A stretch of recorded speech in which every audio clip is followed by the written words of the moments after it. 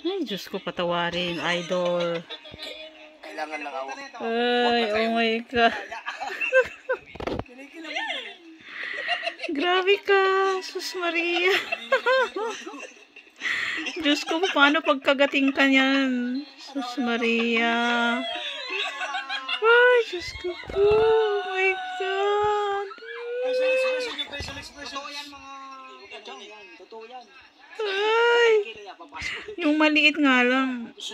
Uy, pero mabait siya, hindi nangangagat. Inagis ko nga lang pusa. Friendly siya. Basta wag lang kayo mainig kasi mga agats eh. Hindi, may bulong dapat yan eh. Pinulungan mo na kanina.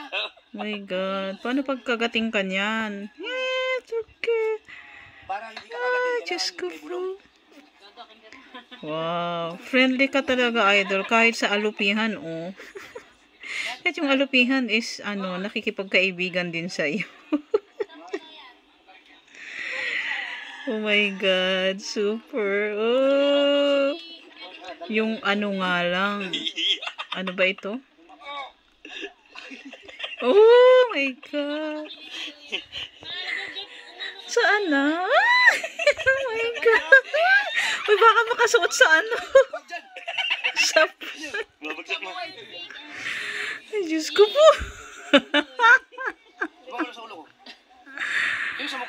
Eh, ano eh. Ano ba ito? Yung... Kahit... Ano ba yung ibig sabihin? Ano ba yung sasabihin ko? Uy, kahit nga yung ano... Kahit nga yung rent lang, langgam. Ah! God! Diyos ko po.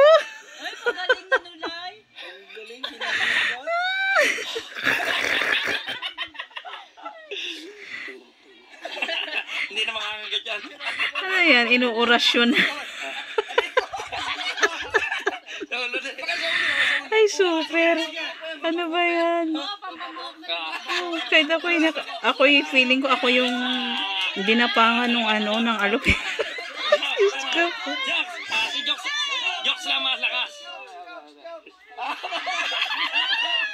Huwag kang gagalaw. Kakagatin ka niyan. Oh my God. Okay ba? Ilagay mo yung ano Oh mo. my Di ba ka God. mapasok sa eh? Yeah. Okay. Wala na. Ang dibdib. Wala na. Eh, mga, oo, oh, dahan-dahan, baka maano ang ano.